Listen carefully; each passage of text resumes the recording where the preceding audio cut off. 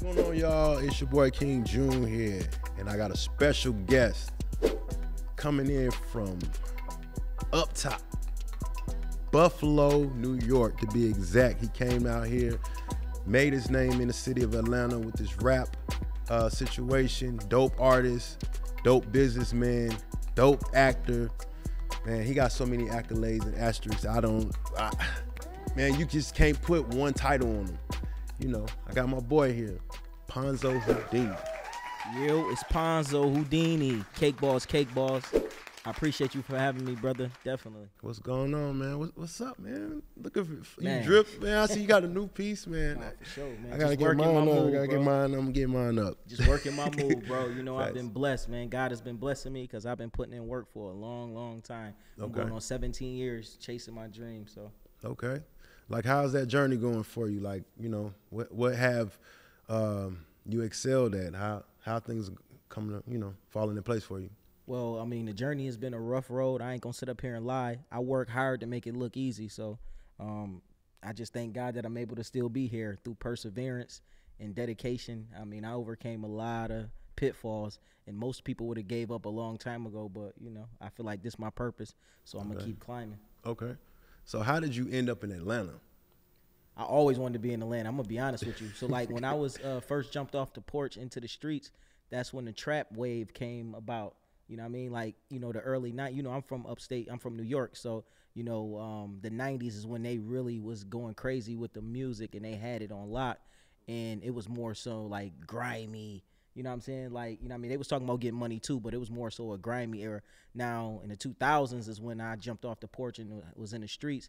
That trap wave came with the Jeezys, the the Gucci's, the Yo Gotti's, the Tips, the OJ the Juice Man's, Dolph, the hustling music came. So that's what I was mostly influenced by because I was really outside in the streets doing this. So, you know what I mean? Like, I was intrigued by the Atlanta um, movement um, as far as how they stuck together, they put their people on, and I just seen that this was like even before Wakanda came out, this was Wakanda. You know what I'm saying? So I was like, okay, that's where I need to be because I see where the music business is headed, and I see like it's so segregated up north, and everybody is against each other, and everybody is oppositions in New York. So you know, I mean, I wanted to come down here since like 07, but you know, through the uh, trials and tribulations of being in the streets um, going in and out of prison, different toxic relationships with different females, having kids, and just financial situations that wasn't right at the time.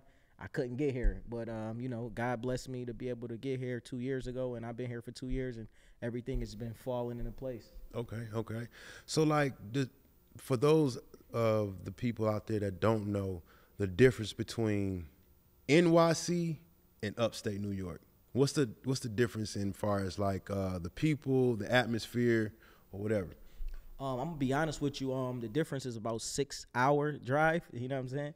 And uh, you know, Buffalo um has been like long lost city in, in New York for a long time. For a long time, they thought we was just um, firemen and cows and shit like that. Until you know, people from Buffalo being upstate prisons, networking and uh, connecting with other people, and they really figuring out like, yo, Buffalo got something going on. And then when um, in 2017 we broke into the mainstream music industry, and then in 2021 it was we broke into the mainstream film industry on a high scale. Um, so like everything is taking off. Then our football team is we like the number one football team right now in Buffalo Bills. You know what I'm saying? So like we finally getting our just due. You know what I mean? After years and years of grinding, we ain't had it since like let me see, Rick James was the last person, and he wasn't classified as a rapper. So you know, we got our first set of rappers that made it, and then uh, you know, me coming behind that, uh, following that. Um, shit, man, we finally getting our just due, I would say. But the difference is we got our own culture, but we do got some similarities to New York. You know what I'm saying? It's cold, and uh, you know, we we we all we, we, all grew up in that gritty, poverty-stricken neighborhood type of environment. Yeah, I know. I, I can sit here and um, vouch for what you're saying because when I the last time I went to Buffalo, I went to the the Perry's. Mhm. Shout out to the Perry Projects. That's down there in my neighborhood. I'm from. Hey, uh, dude, when I was in the Perry in the Perry's, I was like, yo, y'all projects is different from ours down here. You know what I'm saying? And um, I, I one thing I could say about Buffalo is y'all are overall like welcoming people. Like I got a lot of love when I was up there, and I was like, man, I'm from Atlanta. They was like, oh man, come on. They they you know embrace That's me the with crazy part. arms. They gonna embrace an outsider more than they embrace their own people. yeah, I fuck with um, Buffalo, and um, yeah, y'all y'all get money up there. I can say that. Yeah, we ain't got no choice. It's survival of the fittest. Yeah, you know what I'm saying. So, what inspired you to get into like um, into music? Far as like, um, I know you said the Atlanta culture, uh, you know, kind of brought you in. Far as like how you know the sound and you know what we talked about down here in our music, but like on a personal scale, was it like a, a situation that you endured that was like, oh, man, I want to do music now? Um, you know what? like close to home, you know, that brought you into music, saying that you know I want to pursue it. Realistically, bro, I always love music. I always love performing music. I mean, I say this in most of my interviews when they ask me that question. Um, as a kid, I was always performing music, like all the family gatherings and uh, you know cookouts, birthdays, and parties. I was always a kid performing the hottest song on the radio in front of the family. So it was like this is something that I always knew I was gonna do. And then once I jumped off into the streets after high school, um, I seen like people was rapping about the lifestyle that I was really living. So I'm like, shit, I already I'm into music, like I really dig it, man. I know I can do this too.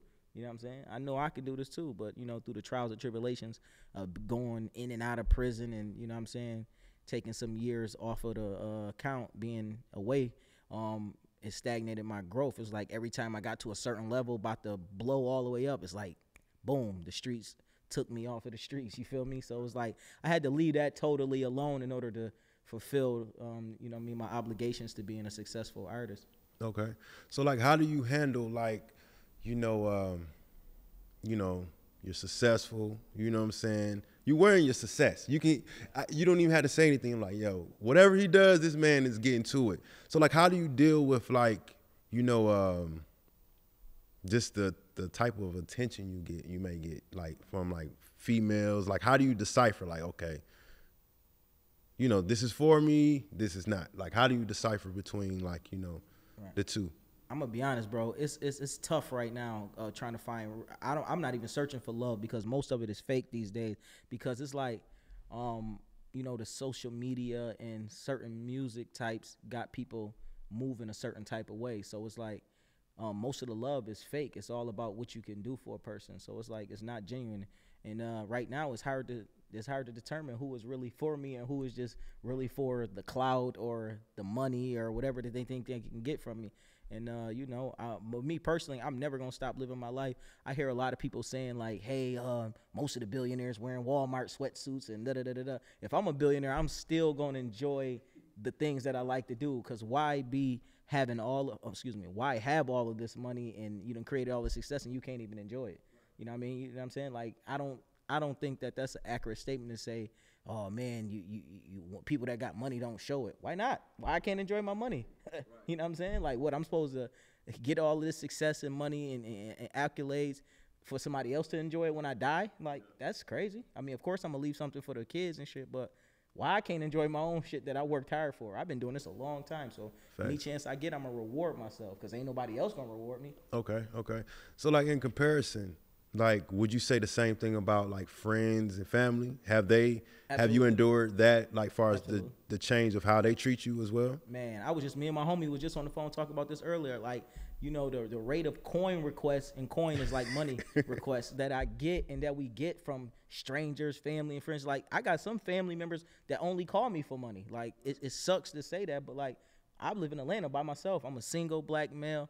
And I live in Atlanta by myself. I don't have no, you know what I mean, nobody. So it's like motherfuckers don't call and check on me. How's everything going? Is you feeling okay today? Uh, is your mental together? You know what I'm saying? There's hey man, I got this situation, man. You think you can help me out? Like what? Like you know, like so when you start ghosting people and they say, oh, he got rich and switch or he acting funny, I don't even care about that, bro. Because at the end of the day, I have to protect my energy. Because a lot of people is vampires, man, just be trying to steal Yeah, everything. yeah. Trust me, I know. Like I know, um, you know, when we were uh, discussing doing like you know music and going on tour, um, I had a respect for you. You you offered me an opportunity. I, I don't know if you remember the conversation, and you was like, "Yeah, June, um, these are the stipulations. Whoop, de whoop, you know what I'm saying? This is an opportunity for you." And you know, I had to, I let you know, like, hey man, you know, um, I see your grind, this, that, and the third, but you know, um, I don't want to come on your situation as if, you know, I'm leeching, or it may appear like that, or whatever. Like, cause at the end of the day, if I'm not, I'm working to be your equivalent. You know what I'm saying? And I respect what you're doing, and um, you know, I can honestly say if that conversation would have went with somebody else, they would have felt some type of way. The way you was like, you know what? When you're on this tour, you got to pay what you weigh. Absolutely. You know what I'm saying? That's in And- any environment. And, and, and not to cut you off, the music business, any business, you have to create value or they're not even going to want to deal with you. Like right now, any artist that's looking to go get a deal, they're not going to sign you because you think you're the hottest thing moving, bro. You got to already have motion. First thing when you go in there, let me look at your YouTube numbers. Let me see your Spotify. Let me see your Apple Music. Let me see your I, I, IG. Let me see your uh. Let me see how many followers you got. Let me see how many engaging followers you got. Let me see how many likes you get on the post. How many views you get on the post. Like that's all they care about. They don't care about who you are. They don't care about just your talent is cool. They don't really care about that neither because they can build that once they they only care about what value you already bringing in order for them to scale it and make it a successful business. That's what this shit about. So it's like you got to bring something to the table in order for you to be of value, and that's even in anything you're doing right now. And in the building relationships and for people to even deal with you, they're not gonna look at you unless that they can benefit off of you. Basically, Facts. that's how this the work. For sure. Yeah, I agree, man. And you know, to this day, and I, if I haven't told you, you know what I'm saying, I respect that situation and it actually put fire on my ass like, yo, June, bruh, that dude right there is the bar, you know, because I know I've been slacking because I had a hard time adjusting with um, how the music industry is now. You know what I'm saying? Because it's like, at first it was like, man, this is a young man's game and this, that, and the third. And I'm like, maybe you're right. No, they lied. But now it's like, nah, it's the, the industry's wide open. Right. You know what I mean? So it's like, you know what? I'm gonna take what that lesson I learned from that conversation, and that situation. Let me get my weight up. We can reapproach the, you know, reapproach the situation, and then we can be at the same level, and we can, you know, boss up on the situation. Definitely. Or shit, and that's you can what skyrocket past, bro. There's no limits. you know what I'm saying. shit. That's what I You know took from it, Or you can and skyrocket past me, bro. It's no limits to this shit, my guy. yeah, you know what I mean. So, uh, yeah, that's why I, I wanted to tell you that shit too. definitely. Um, so, um, I know we talked about you know like the streaming and stuff like that. Man, I gotta give you, I gotta tilt my hat off to you. Your numbers is crazy, man. Like when we shot at your crib, I saw your plaques and shit. I'm like, this man got Spotify plaques. He got 500, what, 500,000? Yep, that was, I'm waiting on two more plaques right now for my last album, uh, Rich Energy. I just dropped September 9th. That joint did over a million streams worldwide in only three weeks. Okay. Hey, look, and I can. He's not just throwing up numbers. I can sit here and vouch for him. This man got plaques. He got the whole nine, and it's very inspiring. Like, look, I can I can take your hustle and compare it to like you know how Master P did it back in the day, but in a modern form. You know what I'm saying? You didn't. You're you, you're doing all of this on on the strength of you. You know what I'm saying? You don't have a machine behind you, so it's like there is money in this industry. You just gotta know how to get this shit. No, mm. for real, bro. And know I'm gonna tell you the cheat code to the industry. It's not about your age and none of that. It's about the connections. You gotta and like right now, bro, you in a good space, bro. Like I'm pretty sure you got enough connections to get yourself where you need to be. It's just just you know what I mean, just just staying consistent at that point. Cause you know a lot of people that's in position to you know what I mean make things go around, bro. And that's what it's about. Like and that's what that's why I, I was so stagnant in Buffalo because we come from a small city over probably 300,000 people on a good year population and uh, we didn't have no big major outlets, no connections. So, you know what I mean, we was at a disadvantage. So I was like I got to get I got to get out of there and get to a bigger city where it's at. So why not come to Atlanta where it's where the industry is and build my brand and get the connection so that I can be able to manifest and get to the next level with this. Right, right. And um, I, I believe that um, you know, Buffalo is going to be is really in line in Q, as far as like taking over the industry. You know what I'm saying? I think that uh, right now, Memphis. I hate to say it, Memphis probably took Atlanta's reign. Memphis going crazy right now. Shout they going Memphis, dumb. man. You know what I'm saying? Um, Shout out to Yo Gotti because he mostly responsible for a lot of that, and R.I.P. Dolph because he had a hand in all of that too. But like Memphis getting their shit off right now. Yeah. Salute. And And I right. and I think that um, Buffalo, y'all are right there at their heels. Absolutely, You know what I'm because saying? Um, right now, you know, and uh, like the city has been dormant. Like, I mean, of course, you got artists that's doing their thing, but like, it's been dormant as a whole. So like, Buffalo actually revived New York State. Like, Yeah. on some real shit. Y'all holding New York down because New York City. State. no, no shade, no, no, not knocking New York City. I love, um, you know, pretty much the mecca of hip hop, but Definitely for sure. y'all are pretty much in last place. No, and I sure. believe Buffalo is really keeping y'all Absolutely. at bay right, now. You know what I'm saying? with the movie scene, like um, the movies that we dropping along with the mainstream music artists that's made it and got major deals, along with the Buffalo Bills being number one team right now. You know what I'm saying? Like a lot of factors is playing in Buffalo getting a mainstream run in the world. Yeah, and I respect that, man. I respect that. And um, what what you got going on, man? What you got? You know, what you currently working on? Uh, I just released an album called uh, Rich Energy that's out now on all platforms. That joint doing well, and uh, you know I'm just blessed that I got a fan base. I just did a sold out show in my hometown. Over 450 people came out just to see me, and uh, you know, um, Hot Girls movie coming soon. Shout out King June, the, the producer and director on that. Um, I got another uh, feature film called Pure Finesse. That's about to be everywhere as well. Shout out Deuce King and AK Reed for getting me in that joint. I'm starring in that joint too. So man, I'm just working my move, bro. Like I said, working my move, man.